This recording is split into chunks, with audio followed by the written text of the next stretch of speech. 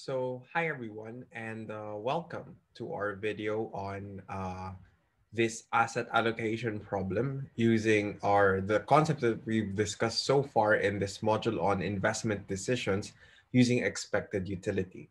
So as we uh, mentioned in the past lectures, we've said that uh, there are some instances wherein it is reasonable for a consumer to consider um, putting some degree of wealth into a risky investment that is having an alpha which is uh, positive. and that occurs when the expected uh, return from that investment exceeds that of the risk-free rate so we're gonna try and sort of delve into that, to that realm further with this particular example so suppose an individual's utility defined over end of period wealth W, so the consumer has a wealth W, is given by the utility function, which is this one here, where alpha is some quantity that is greater than one. Now, the individual's current wealth level, which is available for investment, is equal to W uh, naught, right? So that's W naught. So we're uh, tasked to do three things. So the first thing is to find the measures of absolute and relative risk aversion. The second one is to show that an individual's wealth level increases, uh, that the absolute risk aversion measure, which we discussed before, decreases, but the relative risk aversion measure remains unchanged. And we're left with this um, third scenario, uh, third sort of item, and it, it's a scenario that involves a bullish and a bearish stock market. So that's going to be interesting. So let's solve one and two first before we get to three. So um, if we go to number one, number one just tells us, okay, we're going to find the measures of absolute risk aversion and relative risk aversion. So let's start with the absolute risk aversion measure. So that's AW. AW is simply equal to the negative of u double prime w over u prime w. So the second order derivative divided by the first order derivative. And if you recall, right, the utility function we were given with here is uh, u is equal to w 1 minus alpha over 1 minus alpha. And we have alpha greater than 1, right, as a condition. So if we're going to take the first order derivative, the first order derivative of this with respect to uh, with respect to W is just to be a simple uh, quotient rule. So we have here a derivative of the one on top, that's 1 minus alpha times W raised to 1 minus alpha minus 1. So that's negative alpha times 1 minus alpha minus um, uh, the derivative of the one at the bottom is 0 times W raised to 1 minus alpha over uh, 1 minus alpha squared. So this one cancels out.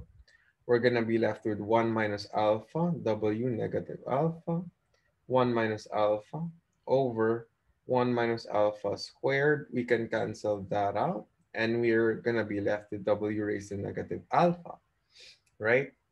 Then if we're going to divide that um, by uh, the top, okay, so the top is the second order derivative right? Uh, and that's just essentially the derivative of uh, this one with respect to W again. That's the derivative of this one with respect to W again. And we're going to be left with negative alpha W negative alpha minus 1. That's the second order derivative. So we can find the Arrow-Pratt absolute risk aversion measure quite simply dividing these two. So AW is equal to negative alpha w negative alpha minus 1 over w negative alpha. And uh, th this will be some negative quantity by the formula that we have there.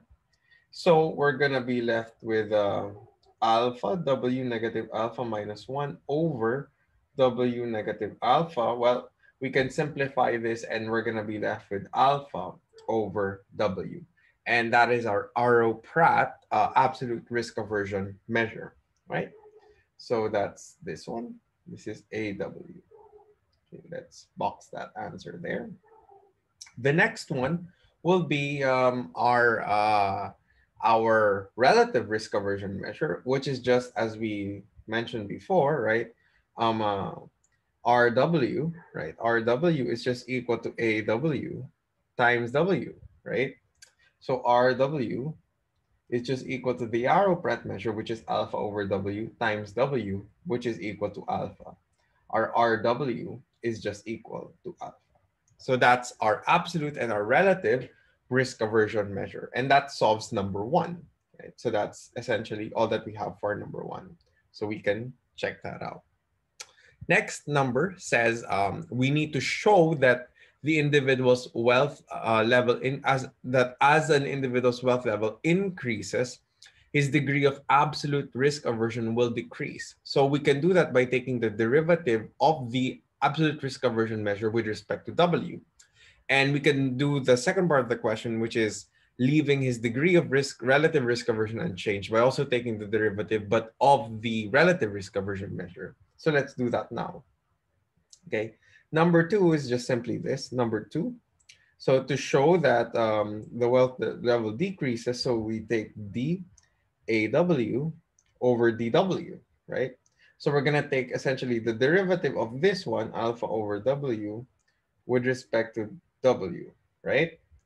And this one will just be equal to, um, so if we do that, that's just a quotient rule. So that's 0 times W minus 1 times alpha over W squared. This one is 0. We're going to be left with negative alpha over W squared, right? And we know that that is less than 0 for all W greater than 0, right? And since alpha is greater than 1, the, the same conclusion still applies. So this implies that the individuals, the individuals degree of absolute risk aversion, absolute risk aversion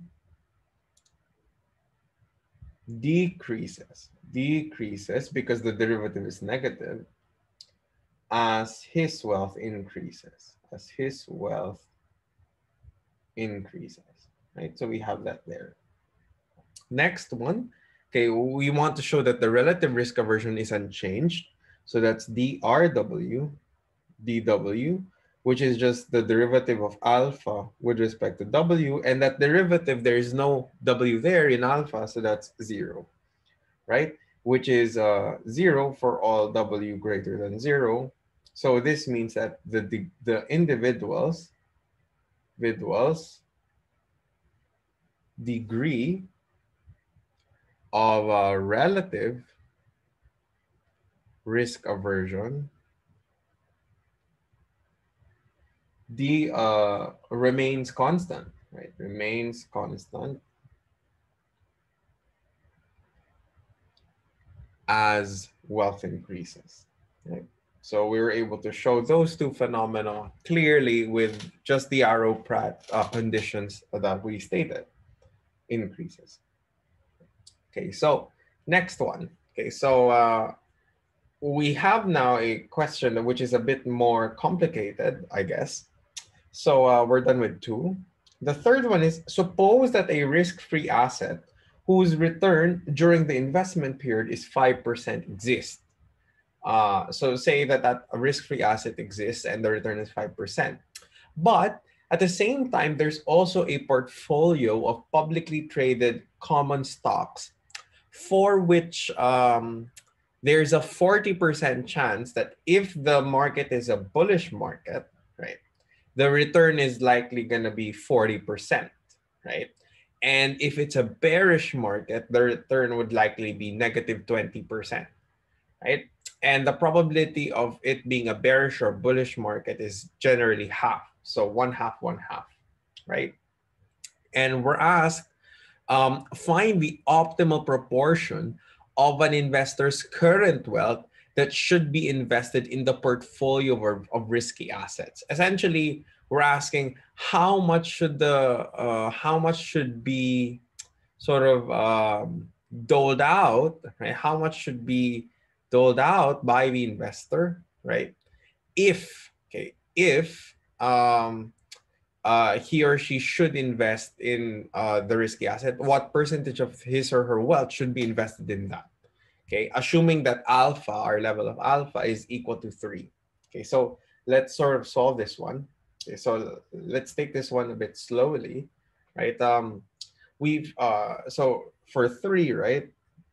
So we have alpha equal to three as a given, and we also have, if that's the case, then our utility function is just gonna be, um, uh, we have a utility function that's gonna look something like uh, this. So remember we have um, W, right? W raised to one, okay? Um, it, it's gonna be one minus uh, three, that's W minus alpha, over uh, one minus three, right?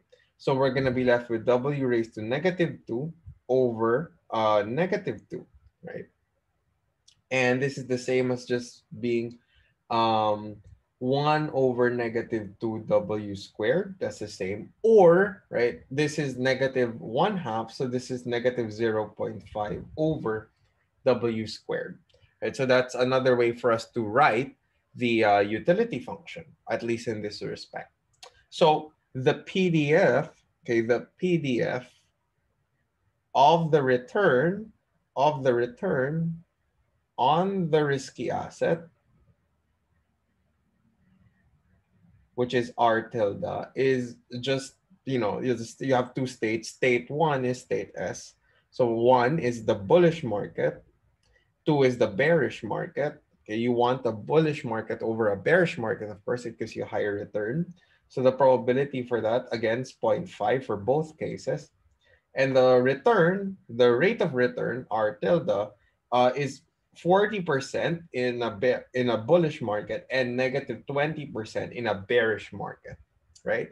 And as we discussed before, right, the PDF of the investors final wealth, final wealth after investment is just given by this formula. So remember, because we're investing, uh, the wealth is now an uncertain prospect because the return of the stock market is an uncertain prospect. So we have, if you remember the formula, that's W tilde. That's equal to W naught times 1 plus whatever was allocated in the risk-free asset plus A, A times uh, whatever was allocated in the which a which is whatever was allocated in the risky assets, which is r tilde minus rf, right? And this is just gonna be right, this entire thing is just gonna be uh, so you, again you have two states, okay, states one, two, again with equal probability of happening, 0.5, 0.5. Then you have value of W tilde, right? So this is just gonna be um, W1 is gonna be equal to, so remember you have a 5% sure return, right? Based on the problem. So you have 1.05 W naught plus, uh, if it's a bullish market, that's a 40% return. So that this R there, R tilde is gonna be 40% minus the risk-free rate, which is 5%. This becomes 0.35 A but you also have a W2, which is 1.05 W naught minus 0.25A, right? So could be those two cases there as uh, as I as I mentioned there. So it's gonna be uh, those two potential cases that we have, whether it's a bullish or a bearish market. Now, since the investor, right, since the investor's utility function, okay, since the investor's utility function is equal to UW is equal to negative 0.5 over W squared. Essentially, we can plug in the value of W uh, 1 and 2 to that W that we have there, right? So this is going to correspond to some value of uh, utility, right? So utility. So we get a U W1, which is equal to negative 0.5 over 1.05 W naught plus 0.35 A squared. You also have a U with respect to W2, which is negative 0.5 over 1.05 W naught minus 0.25 A squared. Okay, so those are your two uh, utilities there. And because you now have utility uh, for a bull, so this is your bullish case, this is your bearish case, you can now get an expected utility. And the expected utility is just the probabilities times these utilities. So your expected utility of wealth, of final wealth, is just equal to 0.5 times negative 0.5 over 1.05 W naught plus 0.35A squared plus 0.5 times negative 0.5 over 1.05 W naught plus 0.35, uh, sorry, minus rather 0.25A squared, right? And uh, this is just equal to, right? If you just simplify it, both of them have 0.5, so you can factor it out. That's going to be 0.5, okay? Negative 0.5 over 1.05 W naught plus 0.35 A squared plus negative 0.5 1.05 W naught minus 0.25 A squared. Okay, so you have that. Now, based on the condition that we've had earlier, right? The F, uh, in the, at least discussed in the previous video, the FOC okay, the FOC for the investor's problem, problem of uh, uh, maximizing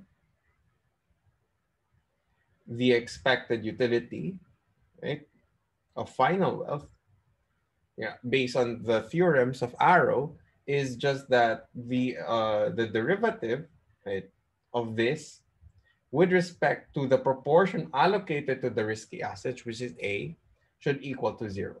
It should equal to zero. So if we do that, okay, if we do that uh, sort of, if we do that sort of uh, equation and that derivative, W, if we take the derivative of this entire form with respect to alpha, uh, with respect to A rather, so you're just gonna be left with um, zero, uh, 0 0.5 so just bear with the solution and then check for yourself.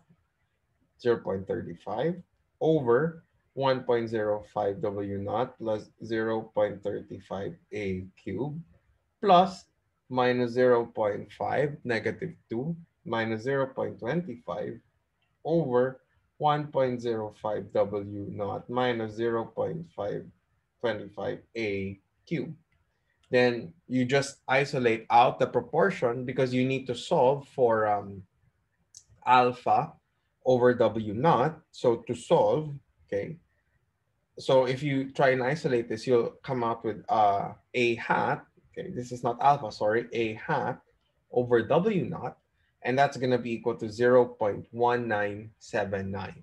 Okay, and uh, you're, you're going to be able to get this when you get the derivative of this and set it equal to zero.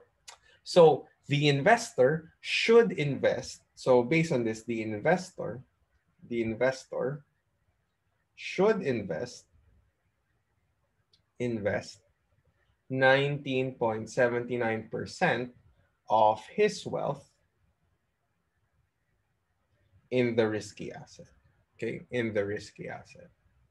So that's going to be the answer for uh, that problem, right? How much would he or she and he invest in the risky asset? It's 19.79% of his final wealth. If the question asks how much should he invest in the risk-free asset, eh, well, it's just 1 minus 19.79%, which is 80.21%. So that's our problem on uh, you know solving this expected utility investment decision using expected utility. And uh, in the next video, we're gonna discuss um, more on these theorems of uh, Kenneth, Kenneth Arrow on finance.